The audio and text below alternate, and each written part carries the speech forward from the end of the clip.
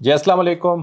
अभी मैंने quite recently एक वीडियो की थी जिसमें मैंने आपको ये बताया था कि आप कोई भी कंपनी है, उसकी शेयर की प्राइस ऊपर क्यों जाती है और नीचे क्यों जाती है। और उसमें कुछ डाटा मैंने शो कराया था।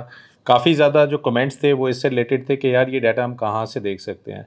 सो आई थॉट के लोगों को शायद सरबाइड और पीके के बारे में पता होगा, लेकिन जो भी लोग नए हैं, उनको नहीं आइडिया ये सिर्फ़ जो वीडियोज़ आप यहाँ पर देखते हैं, ये एक यूट्यूब का चैनल नहीं है। इसके पीछे एक बहुत बड़ी एफर्ट है, एक बहुत बड़ी टीम बैठी हुई है। जो कि आपको, वो सारा डाटा जो आपको हेल्प कर सकता है आपके इन्वेस्टमेंट को ग्रो करने के लिए, वो हम होस्ट कर रहे हैं सरमाया डॉट पी के ऊपर।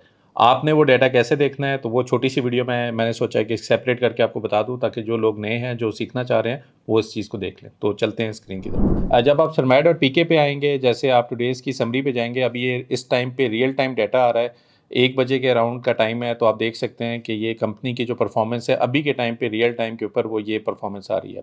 अब मैंने कुछ एग्जांपल दी थी जिसमें, फॉर एग्जांपल, मैंने कहा था, यार, आपने अगर हैस्कोल को देखना है तो आपने उसकी फाइनेंशियल स्टेटमेंट या उसकी अर्निंग्स या प्रॉफिटेबिलिटी कर रहा नहीं कर रहा वो कैसे देख सकते हैं?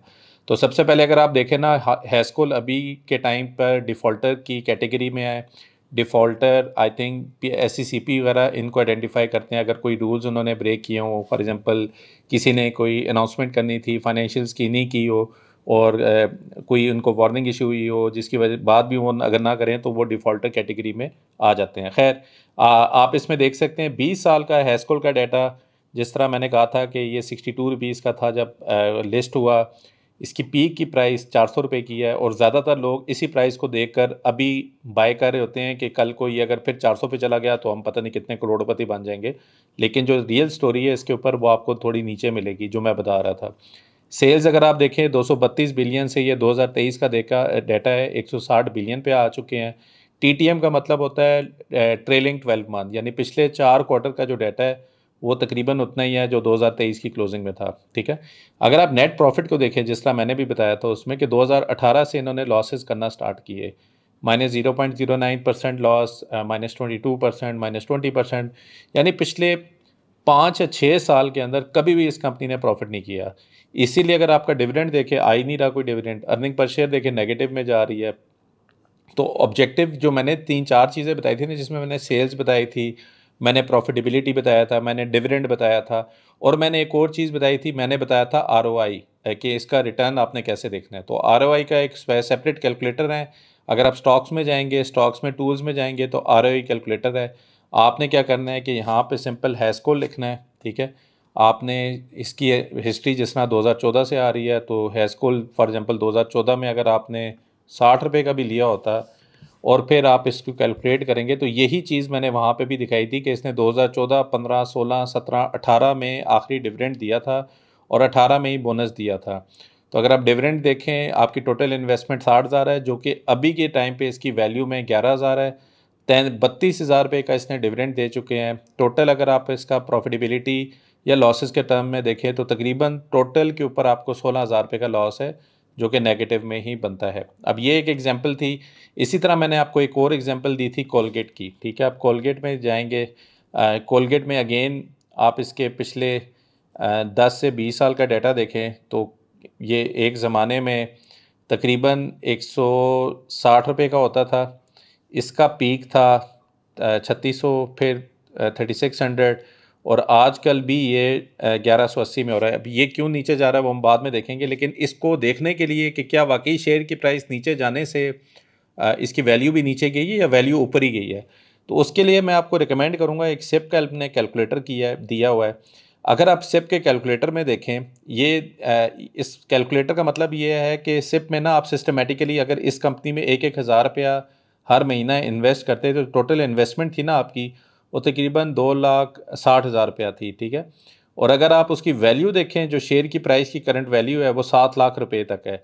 लेकिन जो इसने डिविडेंड या बोनस दिए हैं, उसके बाद ये वैल्यू तकरीबन तीस लाख से ऊपर की बनती है। यानी दो लाख रुपया तकरीबन आपका, दो लाख साठ हज़ार तकरीबन आपका तीस लाख रुपया है इन टर्म्स ऑफ़ कि रियल वैल्यू उसकी क्या है। ये ग्रीन की लाइट लाइन जो है, ये आपको ये बताती है कि बोनस जो है, वो ऑटोमेटिकली हमने ऊपर की है।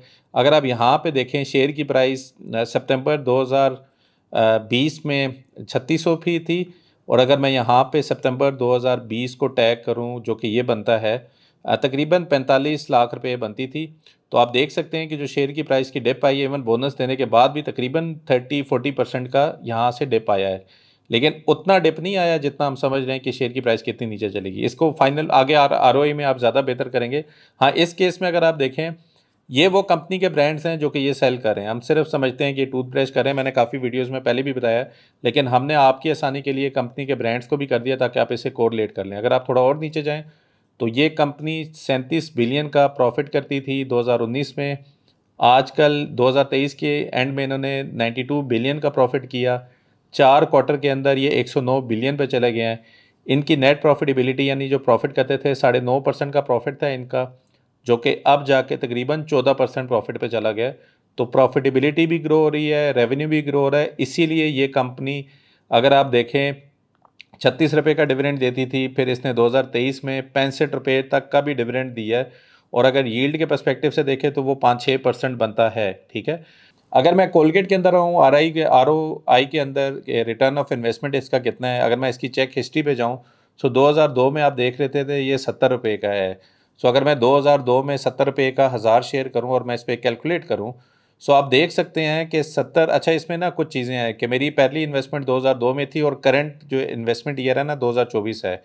प्राइस अगर सत्तर रुपये थी और सत्तर रुपये से अभी की प्राइस जो है वो तकरीबन ग्यारह सौ अस्सी है। तो आप प्राइस में भी देख रहे हैं अप्रिसिएशन हो रही है। लेकिन जो बहुत इंपॉर्टेंट चीज़ है कि नंबर ऑफ़ शेयर जो हज़ार रुपये थे, वो अब तकरीबन बीस हज़ार शेयर हो गए हैं। यानी कि आपकी शेयर्स भी बीस गुना बढ़ गए हैं, जहाँ पे प्राइस भी बढ़ी है। इन दोनों का जो इम्पेक्ट था, उससे क्या हमें नज़र आता है कि सत्तर हज़ार की जो इन्वेस्टमेंट थी, वो तकरीबन दो अशरिया तीन करोड़ रुपया बन चुकी है। और ये जो डिविडेंड दिया इस कंपनी ने, वो टू पॉइंट सेवन मिलियन दिया है। और जो टोटल प्रॉफिट है वो तकरीबन दो करोड़ साठ लाख रुपए से ऊपर है, जो कि कैगर की टर्म में तीस परसेंट से ज़्यादा बनता है। अगर आपने इसकी डिटेल में जाना है, जैसे अभी मैं आपको बता रहा था कि इसने बोनसेस दिए हैं फोर्टी फाइव परसेंट का बोनस इसीलिए आपको डिप नज़र आ रही है हंड्रेड परसेंट का बोनस इसीलिए आपको शेयर की प्राइस डिप नज़र आ रही है। तो ये चीज़ें ना समझने की अभी काफ़ी ज़्यादा वीडियोज़ में लोग मुझे कहते हैं, आप मुझे वो बंदा ढूंढ के ले आए जिन्होंने 2002 में इन्वेस्टमेंट की थी। भाईजान, नहीं समझ थी, तभी तो हमने प्लेटफॉर्म बिल्ड किया आपको समझाने के लिए। शायद कोई बंदा 2024 में करके 2045 में ये कहे, यार, ये वीडियो मैंने यहाँ पे देखी थी कि इन्वेस्टमेंट से क्या प्रॉफिट होता है। ये जो नॉनसेंस किस्म के जो कमेंट्स होते हैं ना, जिस पे जो कुछ चीज़ बंदा समझाने की कोशिश करे और आप ऊपर से आ जाएँ, नहीं जी प्रॉपर्टी के अलावा तो हमें नज़र नहीं आ रहा, आप हमें कोई चीज़ एविडेंस देकर दिखाएँ कि कौन बंदा था जिसने आज तक इन्वेस्ट किया कि नहीं किया।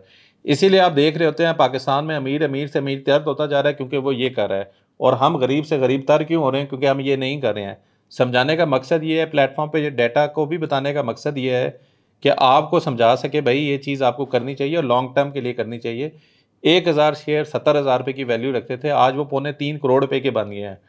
हमें हिस्ट्री से सीखना चाहिए ये नहीं आ, वो करना चाहिए यार काश हम पहले कर लेते।